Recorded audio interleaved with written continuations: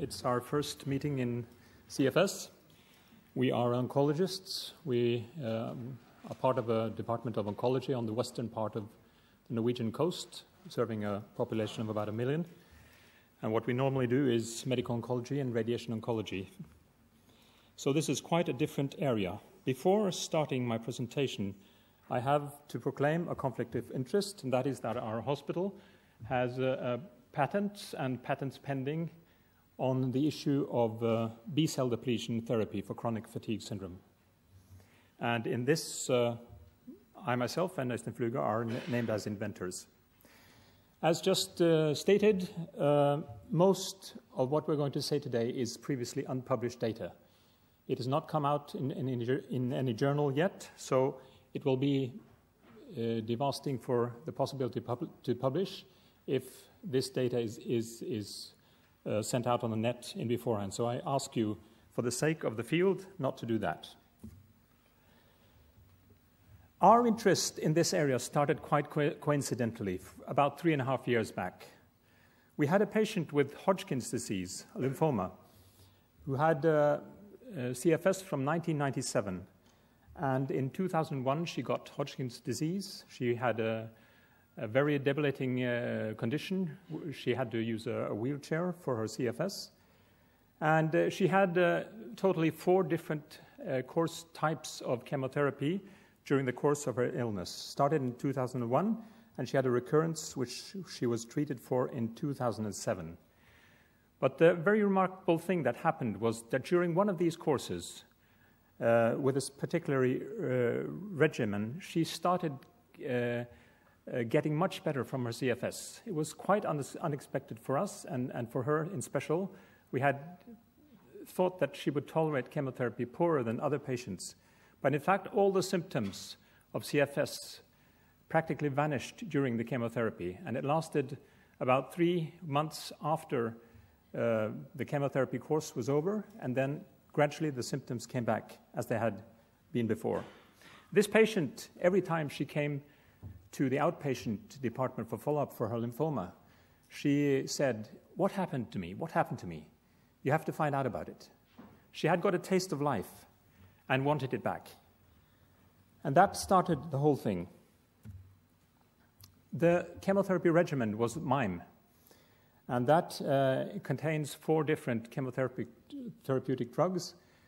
Two of them were parts of other combinations that the patients had, and we said probably they're not responsible for the, the, the bettering of her symptoms. Uh, the two that were left, uh, we found out that probably methotrexate was the drug that was working.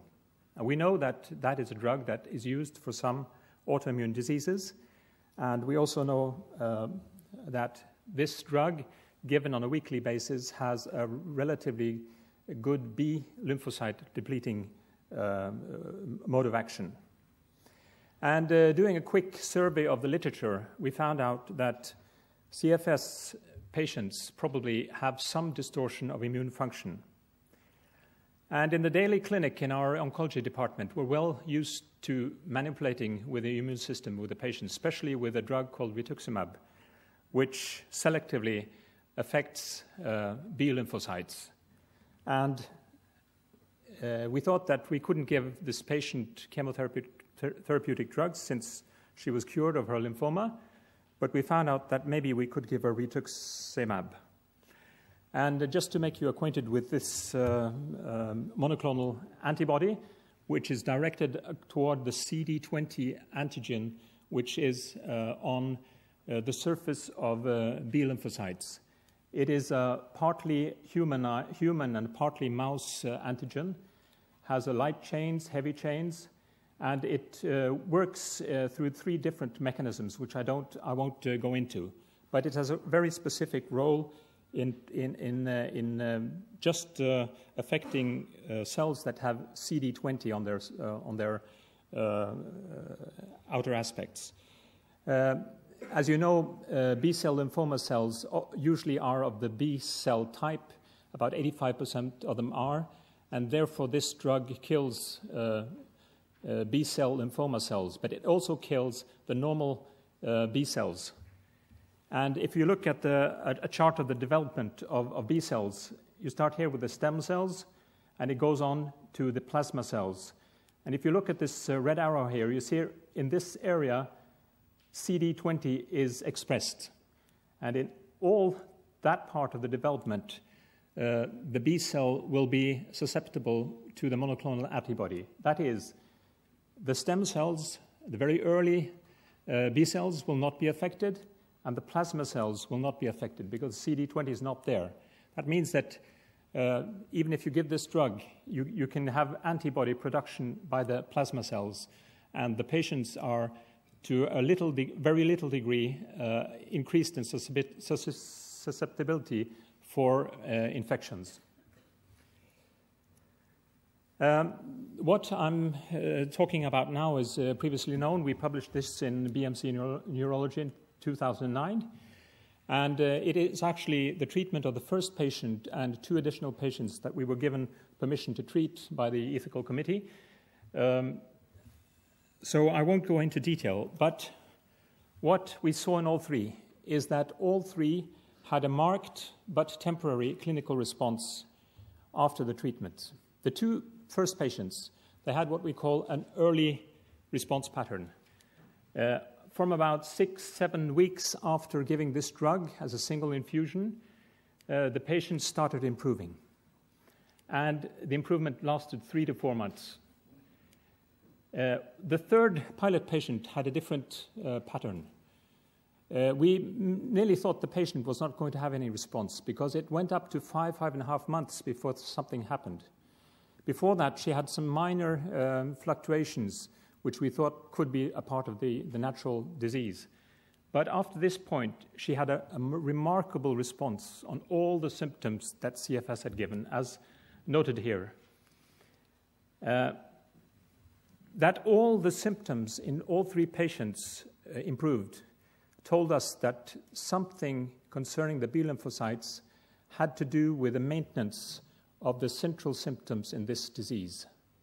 We were quite sure that that was the case. But of course, we were now in a dilemma. Uh, after seeing the two first patients, we told each other, uh, can we really believe this? Could this be a placebo effect? It didn't seem so, but could we really believe it? Could be. Uh, and we found out that to convince ourselves and even more the medical community that something was going on here, we had to do a placebo controlled study. Also, this is really out of our field. We're oncologists, we have a rather busy department running, and uh, using a lot of time on CFS while we have other obligations would be difficult. So, we decided to go directly for a double blind, placebo controlled trial. And what we did was that we tried to estimate the response rates. We had three patients in the row. One of them had had lymphoma, the two others had not, no, no malignancy in beforehand. Uh, uh, we had to estimate what kind of response rates could we anticipate and what were the placebo, uh, what, what kind of response could we see in the placebo group. And this made us put up the trial, which uh, Øystein will be telling you about uh, in the next minutes.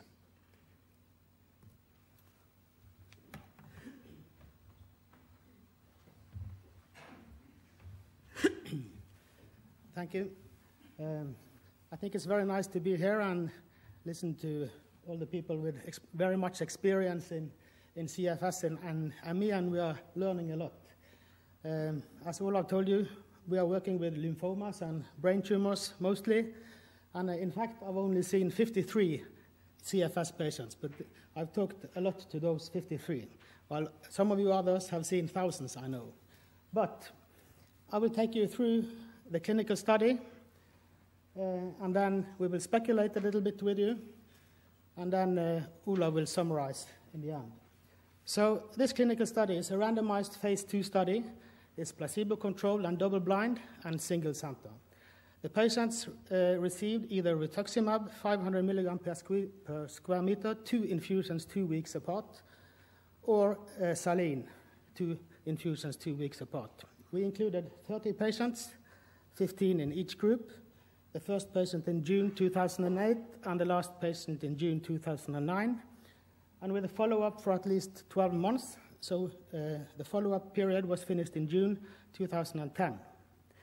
So we made, I will show you in the next slide, some uh, symptom scores that the patients assessed, self-reported, and also um, by the physicians at each visit in the outpatient clinic.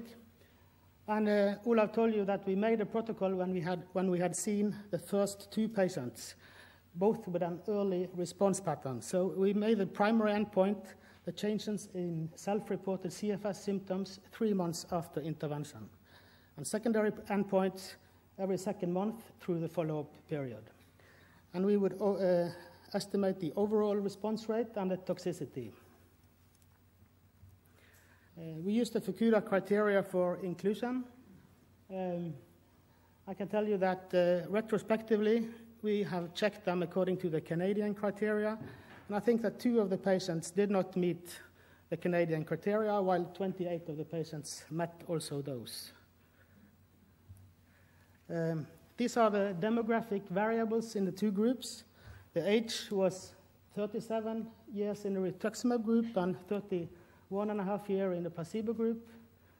Uh, 80 and 60 percent were women, and their disease, uh, CFS disease duration varied was five years, varying from 1 to 13 in the rituximab group, and 8.1 years in the mean in the placebo group, with a range from 0.7 to 18 years. And about 70% of the patients had either a defined clinical infe infection prior to onset of CFS or a possible clinical infection.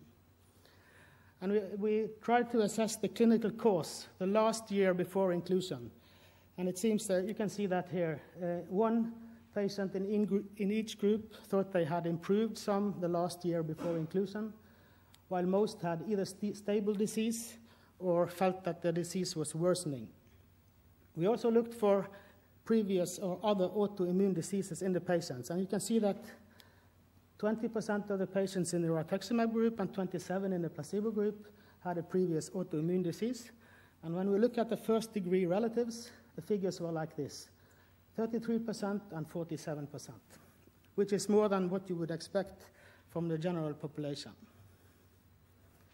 Um, this is a scheme that we developed for pre registration uh, before intervention. These are the baseline self-reported symptoms that the patients were asked to, to, to uh, score from a scale from 1 to 10. Symptoms related to fatigue, uh, post-exertional malaise or exhaustion, lack of daily functioning, need for rest, and also the pain symptoms, cognitive symptoms, and this group of so-called other symptoms, which include some from the autonomic nervous system and also how the patients felt that the disease had affected their quality of life the last three months before intervention. So this was, um, this was the baseline characterization. And this is how the symptom scores looks, looked in the two groups. In this uh, slide, uh, the patients should, should then score from 1, no symptoms, and up to 10 with, when they felt that the symptom was very pronounced.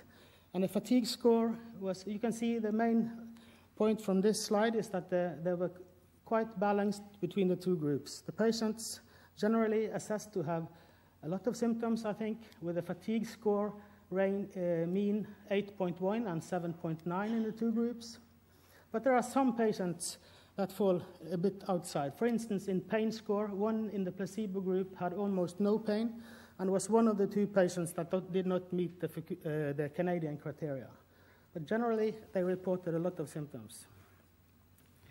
Then, this is the scheme that we used during follow-up. It's a, some kind of a global assessment scale. It's exactly the same symptoms, uh, and the patients were asked to register every second week, week for the whole 12-year follow-up period. And uh, these are, uh, they uh, were uh, asked to score according to this scale. One, three is the value for no change in the, two, in the two-week period. Two, slight worsening. One, moderate worsening. And zero, if they experienced a major worsening of that symptom. And correspondingly for the improvement, four, slight improvement. Five, moderate improvement, and six major improvement. And the, we, we, wanted to make a system that kept us close to the raw data. Um, so the mean of the fatigue symptoms at each second week interval is what we call a fatigue score. And we have the cognitive score, which is the mean of these three cognitive symptoms. The pain score, which is the mean of the pain symptoms for those that the patient actually had.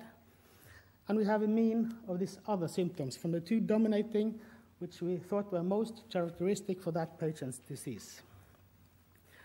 Uh, just to mention, we also made a similar registration at, by the physicians in the outpatient clinic. The patients were also seen by a neurologist before treatment at baseline and at four months. At all, all uh, follow ups, Ola or I also saw the patients. And the response data uh, are mainly based on the self reported symptom changes recorded every second week and the main response, we think it was correct to define from the fatigue score. But generally, the symptom scores, as I will show you in the next slides, the different symptom scores followed each other closely during response and relapse. And remember that we designed this protocol after observing only the first two pilot patients, both with an early response pattern. And that turned out not to be the typical response pattern for the patients because as I will show you, most of the patients respond later, starting to improve from between three and seven months after treatment. This is one example. This is from example from one patient. I will show you just a few of these. Uh, this is the time in weeks at the x-axis, and it is the change in symptom score on the y-axis. So three is the baseline, or no change from from pre-intervention. These are improvement, slight improvement, moderate improvement, and six major improvement, and the worsening. You have the B cell counts that we have measured by flow cytometry, uh, shown in these black dots with a scale for the B cells on this axis, and the different colors of the lines. The black is the fatigue score, every second week, week recorded. The red one is the cognitive score, the green one is the pain score, and the uh, orange one, the other symptom score. So this is a patient in the rituximab group that you can clearly see that there's a change in the curve starting from about two, three months after, after uh, treatment. And the curves are generally following each other. And there's a response in this patient with a maximum from four to 10 months. The response totally lasted until 15 months after treatment. That will, that will means that it was response past the formal study period. So when we talk about the overall response in a little while, it's defined from the fatigue score, which is the black line. This is the mean of the fatigue symptoms, the black line. You can see that the symptoms are starting to, to worsen uh, after a period of major response, but it's not back to uh, the pre-intervention level. This is another patient with a, also with a response. Uh, the lines are not following, following each other so closely, but there's a clear trend for improvement in all the different scores from 3 to 12 months, maximum from 4 to 10 months. This is one example of a patient with a little, little bit different response uh, uh, pattern, starting to improve from about 3, 4, 4 months after treatment, but then gradually improving steadily. And um, uh, she is uh, one from two of the patients with response that has not had a relapse for uh, the follow-up from uh, three years follow-up until now. The study period was 12 months that we will report in the paper, but we have also followed the responders for, to see how long it actually lasted. Uh, by the way, this patient is the only one that was not rapidly B cell depleted. You can see that she was not adequately B cell depleted until 16 weeks for some reason that we don't know, while all the other patients had a very low B cell level after a few weeks. This is one example of a patient with an early response pattern, which resembles that we could see in the first two pilot patients from two to six months. And finally, one example of a patient with a short but late and late response. She had, like the patient Olav told you about, an unstable disease for the first four or five months, but then from six months after treatment, she had a dramatic improvement of all symptoms, and she told us that during these three months, she felt healthy for the first time in, uh, since in her teenager, um, in, in her adolescence. This response was the, one of the shortest, lasting only from six to nine months, with a relapse of all symptoms thereafter. Two of the patients in the placebo group reported major improvement during the follow up period. You can see this. This is a placebo patient. The B cells are not falling, and she reported a clear response, but was one of the two patients that did not meet the Canadian criteria. So the major response definition was that a lasting, at least moderate fatigue score for at least six consecutive weeks, including registrations also of, a marked response during that period. All the responders estimated the effect to be of major importance for the quality of life. And it turned out that nine patients in the rituximab group achieved a major response from these criteria, and in addition, one with a moderate response, which is 10 out of 15, or 67%. This summarizes the fatigue scores during follow up. On the x axis is the weeks after intervention with the time intervals, and it's the same axis on the y axis with the baseline level at 3. The red ones, the red dots are the rituximab patient, and the black ones are the placebo patients. And you can see that at the primary endpoint, at three months, which is in this, there's no difference between the groups. There's no uh, di clear difference between the fatigue scores in the red and the black, that is the rituximab and placebo patients. So the primary endpoint is negative. But then uh, it separates. From uh, four to six months, there's a trend for uh, difference in distribution by the Mann-Whitney U test with a p-value of 0.06, and there, then there's a significant difference at uh, six to seven months, uh, seven to eight months, with a trend from eight to nine months, and significant difference from, nine, from uh, nine to 10 months after treatment. You can see there are much more red dots in the upper area than the black ones. Generally, there are two patients in the placebo group, you can see, that uh, reports major improvement.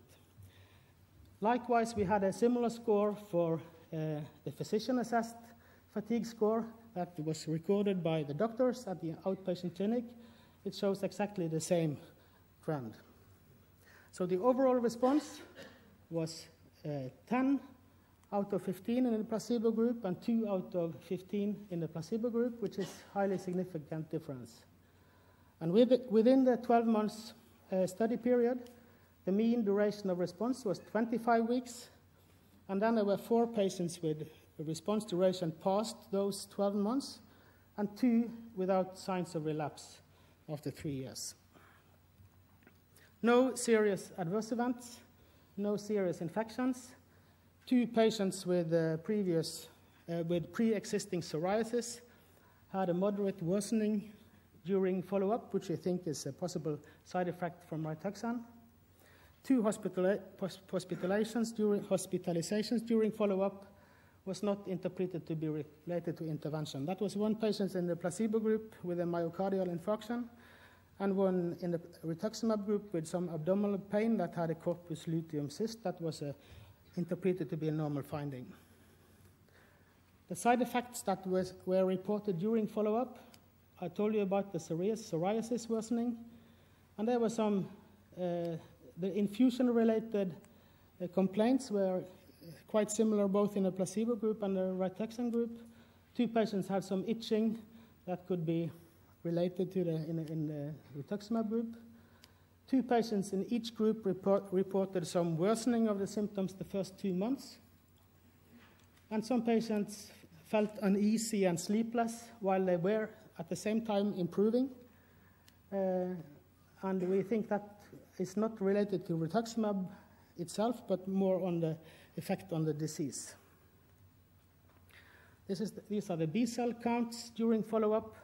The black ones are the placebo group, the red one are the rituximab responders, and the blue one is the rituximab non-responders. And you can see that there's no clear difference between in the B cell levels at, at the different time points between responders and non-responders. And you can see that it is rising from four, six, eight months and uh, starting back to the normal levels. Uh, some patients are, uh, they are usually back to normal levels in B cell within one to two years after treatment. We couldn't find any signs of XMRV in our CFS patients using uh, 10 different PCR setups. We also did culturing of lymphocytes with the LNCaP prostate cancer cell line, uh, but we have not performed serology. These are, I'll just go through that now, but we have used, uh, tried to reproduce as closely as possible uh, from the published studies. So the summary of this study is that there's a statistically significant difference in favor of the rituximab group for overall response and statistically significant difference in favor of rituximab for secondary endpoints 6, 8, and 10 months after treatment. The primary endpoint is negative, which is due to difference in time to responses and that we estimated the wrong time frame when we made the protocol, and there's no major toxicity. Some of the conclusions that I think we can make. So in responders, all symptoms seem to be in influenced, and that indicates to us that the B lymphocytes have an important role in symptom maintenance in at least some cases of CFS. And there's a time lag before the clinical responses. That varies, but most responses start to occur from between three and seven months after treatment, starting to occur from that. So the B cells are low, uh, are very low within the first two weeks. And uh, while it's a lag time for almost a half a year and, or more before the clinical response. And that indicates to us that um, uh, the cytokine elimination is not a plausible mechanism for the symptom, uh, uh, symptom relief. And I think that the time to clinical responses also makes the virus clearance hypothesis unlikely, although we cannot rule it out for sure.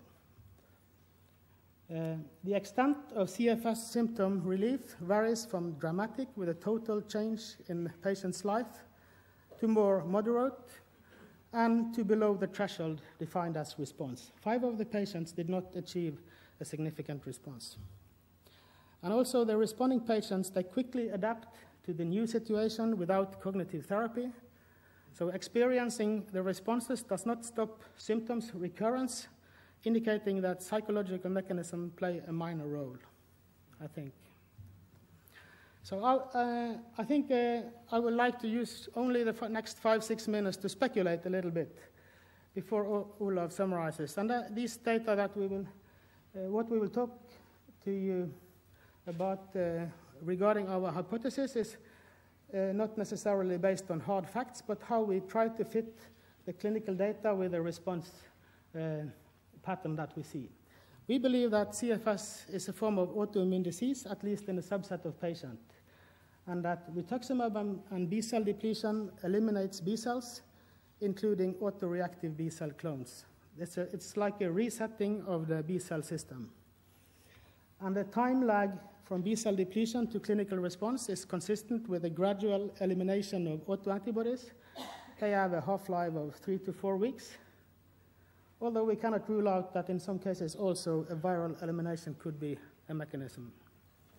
This is just a a schematic interpretation. For some, this is a plot with a time on the x-axis. The B cells are the red line. You can see that it drops quickly, and during the first year, maybe, it, it rises again. This is thought to be the X. That's the disease factor, which could be an autoantibody or some other unknown mechanism. Even though the B cells fall quickly, there's a lag time, and the green one is the clinical response. Before the X is under some kind of threshold permitting the clinical response. And then this patient has a long response, we call it, before the X factor is uh, rising and the patients experience a relapse. So if this X factor is very much higher in to start with, uh, then you can imagine that you reach this threshold at a later time point, while the B cells are already on their way up again. So that could be an explanation for the short and late responses that we see. And maybe some of the non-responders are like this scenario. They never reach down to the threshold in this factor, which could be an autoantibody, before uh, the symptoms, uh, be, uh, be, uh, so that before the B cells are risen again. And what about those patients with no relapse? Is it some kind of resetting of the B cell system? So even though the B cells are rising, they never experience uh, a clear relapse. So, some facts. Uh, the clinical effect of B cell depletion and the time frame responses indicate to us an autoimmune process, possibly mediated through an autoantibody. We know that for many patients, the onset is directly after an infection, and we know that several infections, both viral and bacterial, have been reported to precede CFS, for instance, Epstein-Barr virus. And we know that the prognosis is variable uh, many patients are severely disabled for the rest of their lives. Some patients recover, and Dr. Bell told us about that earlier this day.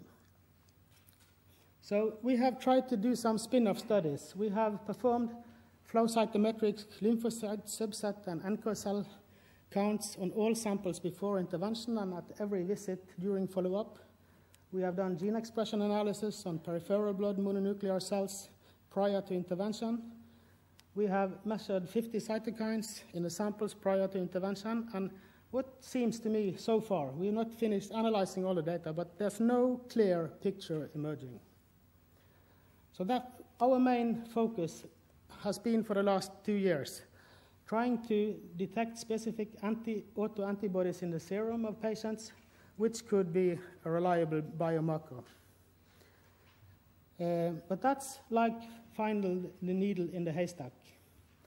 So I think that we need to analyze the clinical picture, and the patients are themselves the clue to tell us about the putative target if there is an autoimmune process. So if you could follow uh, uh, our thoughts with the assumption that there is an autoantibody, let's just say it. It's not, not sure. But I think that CFS is a more or less distinct clinical picture. Uh, I won't lecture you about all this because you know as, um, more than me about it, but all the patients have major and lasting fatigue and malaise after exertion. Um, always the patients with some variation have sensory amplification with the pain, light hypersensitivity, noise hypersensitivity. Patients have cognitive dysfunction that's more variable but always present to some degree. What is most variable among patients is the autonomic symptoms, we think, from our 53 that we have been assessing. And then, let's say that this disease is not caused by a disseminated viral infection, at least not driving the symptoms. To explain the clinical picture, if there's a target for an autoimmune response, I think we have to look for the primary symptoms of this disease which is caused directly by the autoimmune process, and look for what we may call secondary symptoms, because it's very difficult to explain such a huge clinical picture uh, without some kind of model. So what our question is, which symptoms are the primary and which are the secondary? What is the, that's the same as asking what is the principal primary target for this putative autoimmune process? And one important question is, how can different infections both viral and bacterial, give an abnormal immune response with a similar clinical picture? I think that's a crucial question. So these infections with different microbes, they must result in some kind of post-infectious abnormal immune response which target the same systems because the patients are so alike. They have the same clinical picture. And we know that the antibodies from these infections must have more or less the same molecular mimicry. They are cross-reactive to the same host epitope, I think. So the disturbed function of this symptom, which is a target for the autoimmune response, must pro produce the primary and main symptoms of the disease. And we are speculating if these are the main and primary symptoms the fatigue amplification and the sensory amplification. And the defect function of the primary uh, system gives all the secondary symptoms, which are the cognitive dysfunction and the autonomic symptoms that vary more among patients. Um, so if the fatigue amplification and the sensory amplification is the primary symptom, are the primary symptoms, and the cognitive dysfunction and autonomic symptoms are secondary, that is a result of a massive wrong sensory input to the brain. We think that this autoantibody targets some kind of sensory filter in the sensory uh, nervous system so that the patients are overloaded by sensory information including fatigue amplification and pain, light, noise, uh, that the brain is overloaded, and that gives the secondary symptoms, which are the cognitive dysfunction and the autonomic symptoms. So, if the brain gets constantly wrong sensory information on excessive exhaustion, exhaustion, but caused by very limited exertion, on major pain in muscles and joints and headache, but caused by very small stimuli. The brain gets information on a massive light exposure, but it's a normal light in the room. Then I think that the, uh, the brain could react accordingly, put up these autonomic symptoms and cognitive dysfunction, like in the end of a marathon race. I don't think patients are uh, athletes which are in the last kilometer of a marathon race do not have a very good cognitive function and are often uh, experiencing gastrointestinal symptoms and so on. So I think we can learn from other examples in human medicine of post-infectious autoimmune diseases which may resolve completely, but because some of the ME patients can do that with a distinct clinical picture that can be preceded by different infections, yet with autoantibodies targeting the same system. And those examples exist.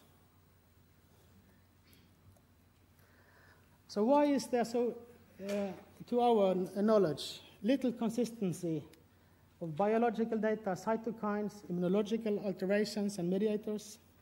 I think that in other autoimmune diseases, like dermatomyositis, for instance, or lupus, the target organ is quite large, with evidence of inflammation during exacerbation of disease, which can be reflected in the patient's serum.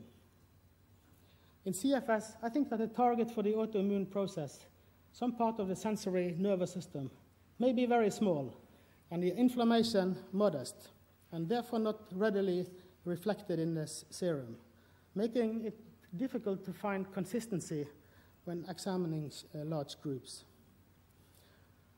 So, when the patients respond to rituxan, patients with major bowel symptoms, dizziness, sweating, autonomic symptoms, they have, may have a complete normalization of these symptoms after removing the B cells. And patients with major cognitive symptoms may experience complete normalization of cognitive function, those with a major response after rituxan treatment. So that's something to think about. So if our assumptions concerning autoimmunity are correct, I think that we will find biomarkers and treatment in addition to B-cell depletion and rituximab. Uh, there are also several new B-cell depleting agents in the pipeline. And I think that in severely affected patients which do not maybe respond to rituximab, uh, or in patients which are severely affected and the delay may be too long before clinical response. Because if, if you have a huge level of the autoantibody before treatment. Maybe it could take a year to reach below the threshold permitting a clinical response. Then I think that plasma exchange, for instance, could be a useful treatment before rituximab. And we, are, uh, we have applied for an amendment to one of the studies that are rolling now, and we have been granted by the ethical committee. We will do plasma exchange in, in five patients with uh, major symptoms. So then Olav will uh, finish the talk.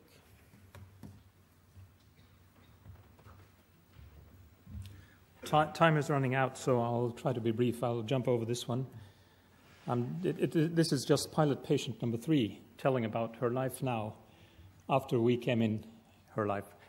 Uh, she's now a pupil uh, running on the mountains in uh, farther north along the coast. It's, uh, it's an extremely different situation for her, but we'll jump over that. And instead, uh, say what happened after her first response in the pilot study. She had a good effect for four months, then all the symptoms started com- coming back again. And here, on the way down again, she, she said, Why did I go into this? I've tasted life again. Am I going back again? And she had to. Here, she was given a new treatment, exactly the same time frame as the first time. Then the symptoms started waning off. Duration, just as the first time. This happens to all the patients that we give treatment. The time lag is the same for each patient, not necessarily the same as for another, but for them it's the same. So, our reasoning was that if we gave rituximab uh, uh, uh, with, with intervals that did not let the patient down like this, we could maybe have a, a better total situation. And that is the basis for our optimization study, which is now ongoing. Uh, that is, that we, we fill in with rituximab in these patients, not just giving single treatments. And so we have two new studies that have been approved. They are both uh, phase two studies. The first one included 25 patients. Uh, here, nine patients from the placebo group in the randomized study are included. That was in the first protocol. That is, if we found a positive effect, we would give these patients with placebo also the possibility of getting ritux, ritux, uh, rituximab. And also, eight patients with response in the first study are included. And in addition, we took in two patients without response in the first study. And the reason was to see if we kept B cell depletion going longer, could some of these patients eventually respond. So they're, in a, they're outside the study, but they follow the same protocol. And um, in addition to, these, uh, to this study, we have a patient study with 10 uh, patients uh, we, who are severely, severely ill. And uh, it's, uh, it's a challenge getting these patients to hospital. It, transportation, for example, is very uh, problematic for them because they're very, very sick patients. Uh, both they, these uh, groups are uh, following the same uh, treatment protocol, that is, as in the first randomized study, 0 and 14 days, and then new treatment after 3 months, 6 months, uh, 10 months, and 15 months, and then stop observation up to 3 years. No, up, no 3 years. that is ongoing. We've recruited all the patients in the phase 2 study. Uh, we've recruited three of the 10 severely affected patients. As Øystein said, we have newly uh, an amendment for the protocol for the, the, the, the, the patients who are, are, worse. They have the possibility also of doing plasma exchange before uh, the same rituximab uh, treatment as the others. We won't go into that. And uh, concluding, we're new in the field. We don't have the experience that some of you have but we are very sure that these patients that we have seen, they have a physical illness. We are very sure about that. We've seen very many ill patients in our oncology clinic, and many of these patients are, are really sick. We have shown, as objectively as we could, that major improvement can be achieved with B cell uh, uh, depletion using the monoclonal antibody rituximab. But I think that uh, the actual benefit of this concept will first be seen in the next study when we can fill in with a drug and see how the actual um, it, it actually uh, benefits the patients. Uh, I did not remember that we have two pilot patients for this last study. Both of those patients have been given single treatments and have had relapse, and both of them are constantly uh, very near uh, healthy at the, at the time being, as they were before they got the disease. We believe that uh, CFS is an autoimmune disease, uh, which means that eventually autoantibodies will, will, be found, probably in most patients. And we're working very hard in the lab to, to find this. Saying that autoimmune that is that it is an autoimmune disease does not mean that infections cannot be involved. Because we know that autoimmune processes often need a trigger. They need a trigger and they need something that, that keeps it going. So that uh, finding virus and bacteria etc can also be a mechanism of keeping an autoimmune process going um, I think that uh, our study should be repeated also by others. It has to be done if this is going to be an accepted treatment in the future. Uh, I think that uh, our results and those of other investigators here and, uh, and elsewhere uh, can help us in the future to, to define CFS more precisely as a biophysical disease. And we will soon, I think, be able to understand the symptoms of this uh, disease in a better way. And I also think that what we and others are doing will, in the public opinion and in the medical community, turn the attitude around concerning what CFS really is. And it will result in more biomedical research and possibilities for even better treatment in the future. Thank you.